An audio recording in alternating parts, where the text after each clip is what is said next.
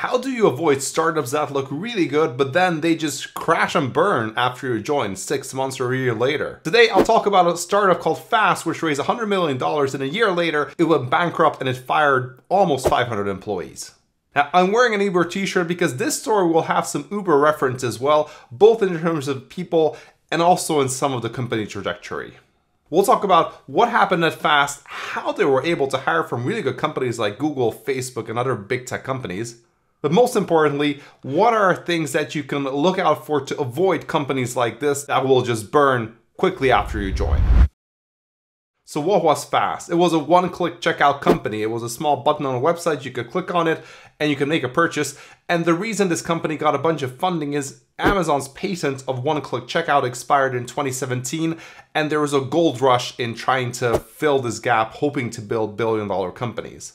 Fast was a pretty flashy company. They sold $1 hoodies on, on Twitter. In the US, a bunch of people ordered this. And their CEO was really flashy as well. Here's a video of when they opened an office in Tampa and the CEO got into a NASCAR car, did a few rounds, then got out of it, had someone put a pink jacket on him, and then he went on and start, started off some sort of press conference or whatever. Yeah, that, that was a CEO called Dominic Holland. So for a good year, people were hearing about Fast, they were doing a bunch of media press, the co-founders were really active on Twitter, but honestly there was not much going on externally. It seemed they were hiring, a bunch of people were joining it, people working at Uber were joining Fast as well. And then on Tuesday the 29th of March, The Information published an article about Fast. And this article was titled Why Stripe's Fast Horse is Losing the One-Click Checkout Race and it had a damning fact. It said that the company only made $600,000 last year. It is failing to raise its Series CX next round of funding, and basically was saying they're running out of money real quickly because they're burning about $10 million a month.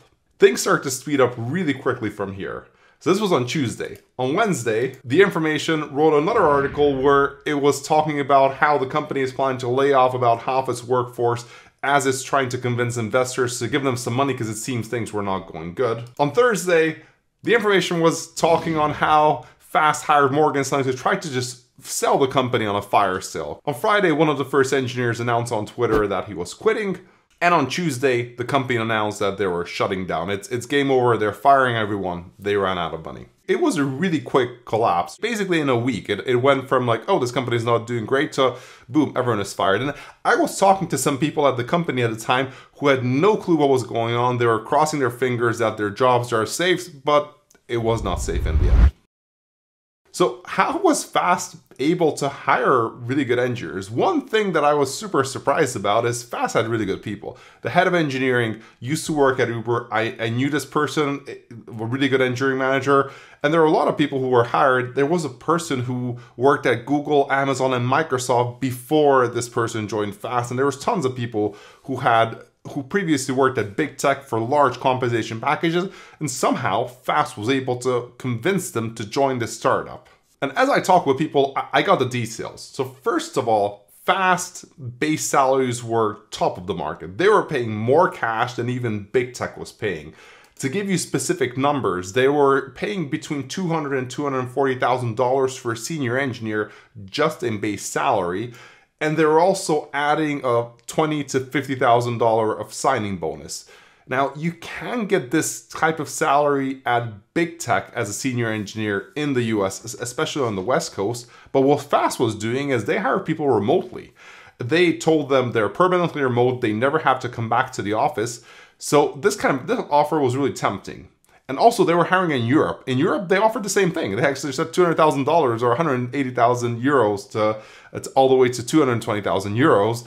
And they gave these incredible salaries to people. Again, I know some people who took them and they couldn't believe their luck. Now, this itself would have not been enough. The cash was good, but big tech pays a lot more because they issue stock as well. But here's where Fast was smart in their hiring. Fast sent each employee a Google Sheet which had a bunch of numbers on their equity. And first of all, they told them that this is super confidential. It's we're only sharing it with you. Most candidates don't really get this uh, sheet shared with them.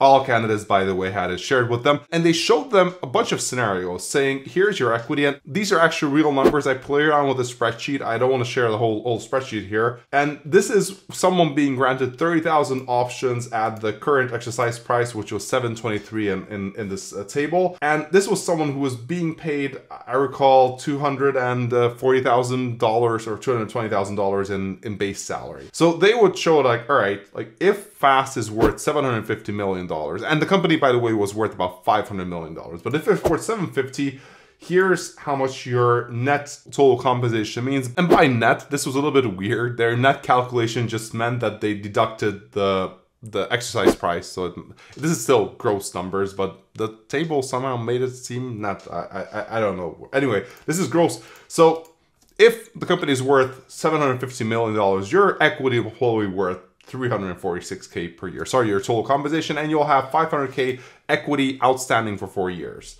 If it's worth 1.75, here are the numbers. And if the company is worth 12 billion, your annual total compensation will be $3 million and you have $11.3 million standing out. Now, the interesting thing about the $12 billion valuation, you might laugh at this, like who, who would think this, this company is worth this much when they went bankrupt? At the time, this seemed actually pretty plausible because their biggest competitor, Bolt, who was also one click checkout company, they raised money at an $11 billion valuation. And the CEO of Fast and all the executives, they're really bullish on how they're growing big. They're going to overtake Bolt. They'll be even bigger. So a lot of people actually, when they're getting the offer, they were not looking at this number, which by the way, it was, was even higher than they got. Their equity was basically worth zero. But they were looking at this number. They said like, oh wow, there's got I have so much upside. If I stay at Facebook or at Google, my stock might double if I'm super lucky, maybe in four years. If I come to Fast, the leadership made it seem sound like the company is so well funded, Stripe is behind it, Stripe was financing a good part of their round and they were leading around, that nothing could go wrong and they'll arrive potentially at this $12 billion. But you know, if things don't work out, 3.5 billion, you're still making a million dollars a year. Easy peasy. Now, the thing that Fast did really smartly, which a lot of startups are doing right now, they visualize this value. They gave it to people and they were looking at it. And I talked with engineers who told me this was a reason assigned. They imagined all this money in their pocket, which was imaginary money, but it, it didn't matter. It was on a spreadsheet. Fast, by the way, never lied. They never said that this is a definite thing. It this spreadsheet had all the disclaimers that you need. But you know, this is what happens when money messes with your mind and you hear about all these startups that go big, people are early people who joining there honestly believe this is their lucky ticket. It's a pretty risk-free ticket because the company is growing and and they just raise honestly 100 million dollars. Like, you know, like they'll they'll raise another round and things will just be great. Now, one more thing that Fast did towards the end of the year, so like in November and December, they started telling people you have a week to accept this offer or a few days because we're raising our Series C, it's closing and we cannot guarantee the price.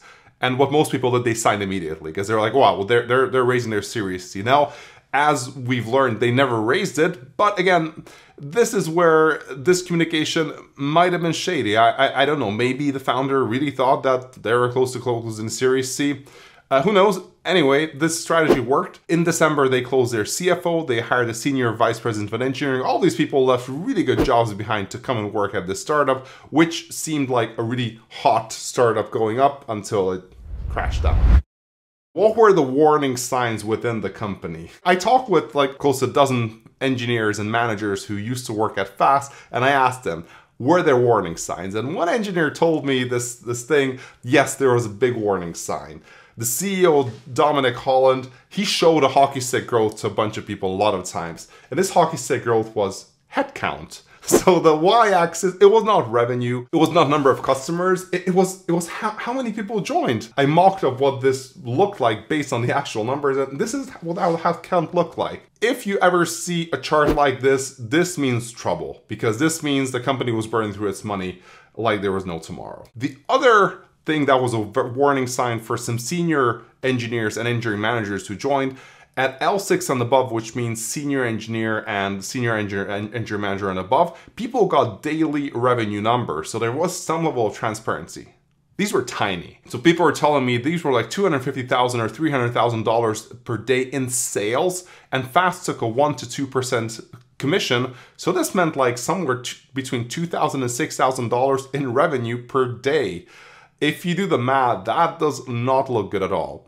And I talked with an experienced engineering leader who, the first time when they came in, they, they looked at these numbers and they looked at their infrastructure costs and Fast was paying more for infrastructure than their revenue coming in. So he was like, "Oh, uh, like this person thought, well, let's start to you know cut down on infrastructure because because what's the point?" And they had very few, relatively few requests. They had fewer than half a million requests per day for the fast button. That's how many times it was rendered, or, or, fewer times, which meant like one or two requests per second. I mean, honestly, you don't need, they, they spun up a whole infrastructure to get ready to scale and to grow.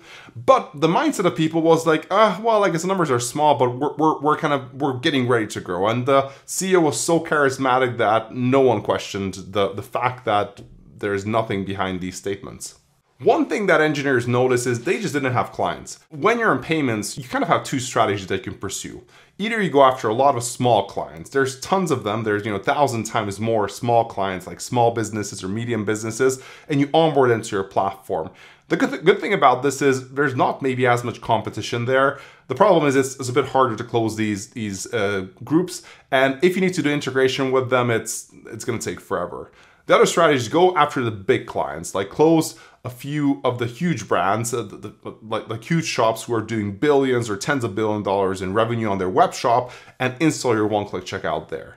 So there was these two strategies. Fast decided to go with the small clients. So they went after the hundreds or thousands or hundreds of thousands of small clients.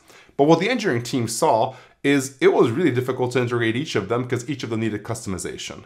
And at some point, software engineers and engineering leaders went to CEO saying, hey, we need to change the strategy because this is way too much work. It's, it's, just it's just not working. We're making so little revenue for customer. It, it just doesn't make sense. Now, as far as I heard, the CEO said like, nope, we're keeping the direction.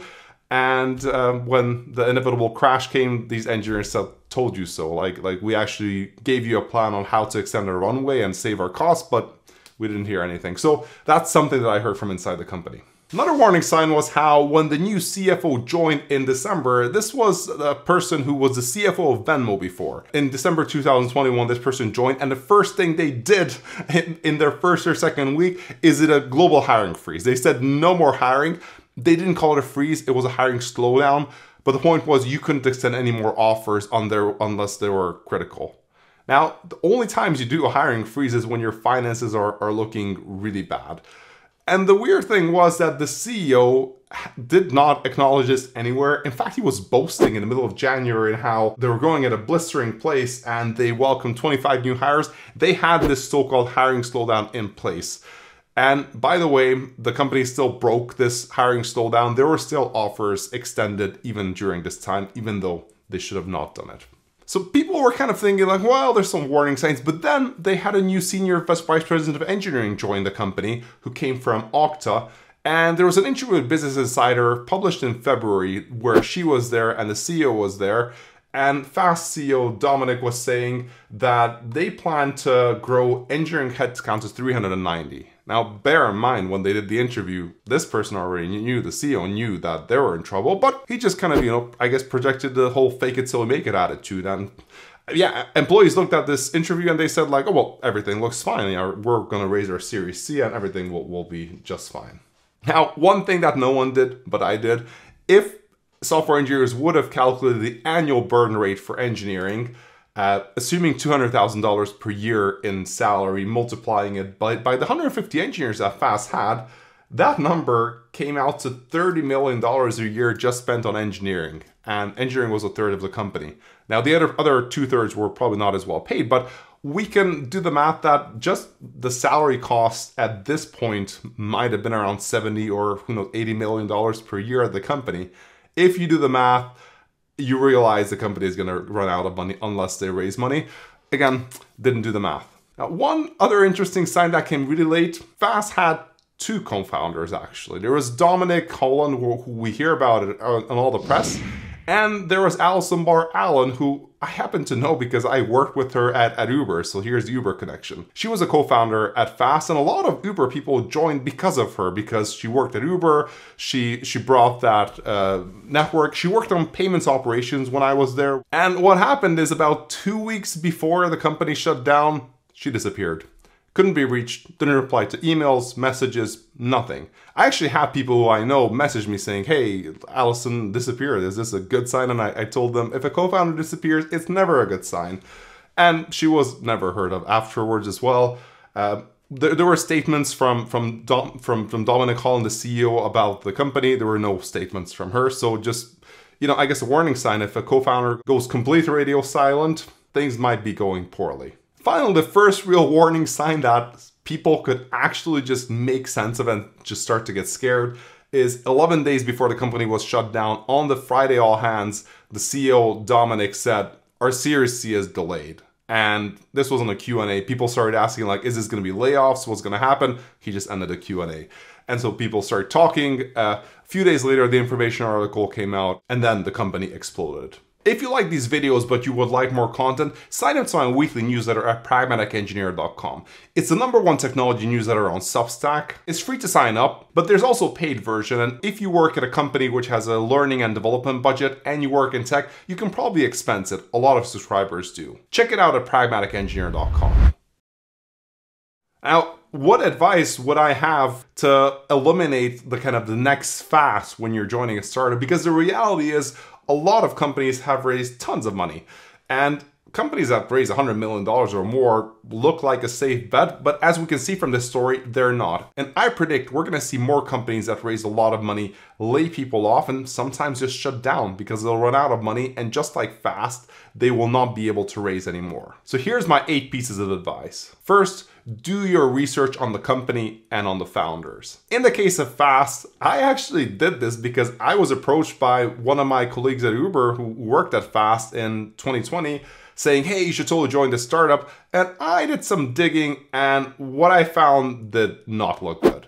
I found a lot of details on, on, on the CEO, Dominic, who turns out to be a pretty shady character. There's an article that was written in 2018 about him uh, liquidating uh, his company, firing people via text messages. He was threatening to sell personalized data.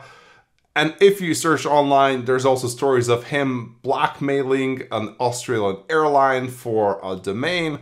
Uh, and he also seems someone who just doesn't take responsibility for his actions. This was pretty clear. And to me, this was a deal breaker. I, I was thinking I would never work at a company where the CEO is, is like this.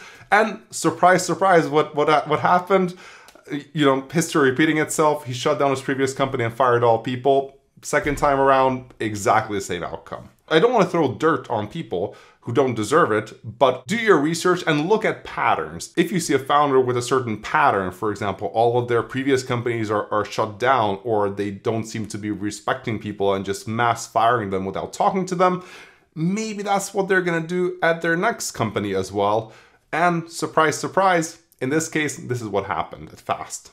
Second, ask for the numbers. Ask about how much runway does the company have left? How much revenue are they generating? How much money are they burning? If they don't give you these numbers, that's a yellow flag or sometimes a red flag. If a company is not willing to be transparent about people who are about to join, especially if you offer to sign an NDA, something is off there. Fast did not give these numbers to people, and people still joined. The result we've seen. Number three, ask if there are a clear set of business metrics that the business tracks, the startup tracks for what their success looks like, and is this visible to every employee? If you ask this question for fast, the answer would have been no. Employees did not have access to business metrics unless you were leadership. Now, this is a problem because companies like Fast, which don't track uh, the important metrics, which is revenue, number of customers, they're at risk of focusing on the wrong thing. Employees at Fast build all this cool stuff, they never knew that revenue was at risk or they didn't have enough customers. They just kept doing their thing jollily. And this is dangerous at startups. Any startup that does not have a laser focus on what is important to them in terms of their, their business metrics and they don't share it with anyone, it's not going to be a good startup. Before you join, reverse interview the people you'll be working with. So set up a call after you get an offer, everything looks good. Set up a call with your future manager or teammates and ask about what it's like to work in the company. I wrote an article on reverse interviewing your future manager and your team. Check it out in the link below. Number five, ask to talk with investors. This is especially important if you're a leadership position. Now, investors like like VCs, they're going to be typically selling you when you're talking to them, but you're going to get some interesting information. Ask them about why they invested, what metrics do they care about, what other portfolios do they have, what are the risks that they're seeing. You might get some additional pieces of information and in reality, very few people do this, even though investors always say no to talking with people. If they if they don't want to talk to you as someone as a company that which is not even a late stage startup, something might be off. Number six, talk to people who've left. On LinkedIn, search for people who have left in a similar position. So if you're applying for a software engineer position, search for software engineers who have left and message them the best money you can spend is just buy the LinkedIn premium or whatever you need to message these people and ask them like, hey, I'm about to join this company. I saw you left. Would you mind sharing why did you leave and, and what are your thoughts on the company? You're gonna get really good information. And one of my friends did exact same trick when he got an offer from a really good company, uh, which had a really good press. It was this revolutionary company and he got a really good package and a really good equity and, and he was about to accept it, but he did this he messaged he saw people were leaving. He messaged them and the people said like do not join. It's it's it's a mess. It's going to go under. This company was called Theranos. And my friend avoided joining a few months before the big scandal erupted. Number 7 if you're getting a director above position do your back channel with the your with the VC network. At this level, hopefully you have some VC connections. If not, just make some connections. Don't just reach out to the companies that invested, but try to reach out into the VC network of large investors who might have passed. Because a lot of times there, there are whisper networks about why a company is doing well and they might feel bad that they never invested, or there's some whisper networks of why the company is doing poorly. In the case of Fast, anyone who would have done this would have heard some news on, on how VCs are already passing. They've already passed on their Series C because they thought the metrics were terrible. Number eight, make a plan if your stock is worth nothing a lot of people go into these startups and they see these numbers and, and they think it's real money. It's not. Your stock is not real until it's vested and un, until there's a liquidity event, which is two really big conditions at companies. Most startups, if you get equity, it's not going to be worth anything. Just keep this in mind. So make a plan. Will it be worth you joining this company if all you get is your base salary? Will, that work out? Will it help your career in terms of the opportunities that you get? You might have a lot larger responsibility. You might work on this interesting set of problems. If it's only worth it if you make a lot of money on the stock, uh, you'll probably be disappointed. And finally, note that risk and reward are connected. Startups are risky and they do have a high upside, but it can also turn into zero. If you go to a publicly traded company, there's not much risk. And if you take a job that has no equity, I mean, you don't really have any risk going on there, except for being terminated, which is a risk that you always have. And my biggest advice is understand how businesses work. For any business to survive, they need to become profitable at some point. There is business models of companies not being profitable, and Uber is a great example. Uber had, had not been profitable for what, 10 or, or something years and is now just turning into profitable, but there needs to be a path for profitability. And in the case of Uber, in the early days, they didn't have a deliberate path, but it was always clear that their model was let's win the market, let's try to get a monopoly as much as we can. We can then turn up prices and become profitable, or our operations will scale and our costs to operate will go down. And in the case of Uber, this actually worked pretty well in the sense of every year the losses were going down. And inside the company, Uber was pretty efficient because of its scale. One example is the size of Uber's payment team. I, I was on the payments team and we were the ones who were integrating with a lot of different uh, payment providers. We had about 20 engineers and we supported 65 countries. We built all those payment providers and we were able to do this because we're a centralized team in an organization. Now, all of Uber's competitors had similar sized teams just supporting the fewer payment methods that that company had. So this was one piece of efficiency that worked in the case of Uber. And of course, when it came to Uber, the unit economics did make sense. Uber charged $100. Uh, they paid the driver, let's say $80 or 85 or 75, and they kept a cut and they made sure that the company operated from that money. And when I joined, I, I did my due diligence in terms of how many people use Uber, how is it growing. And it was clear that the company was losing money, but it was also clear that that, that loss is because of the new market launches.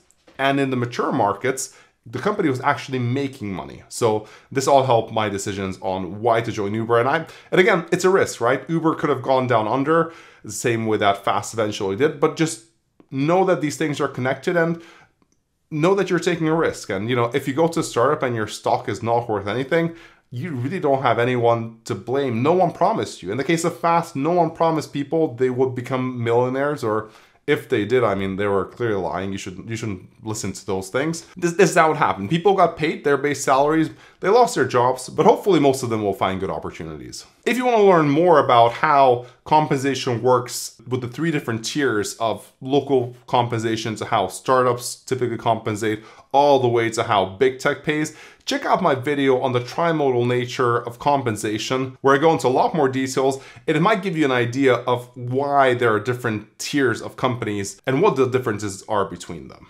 Thanks, and see you at the next one.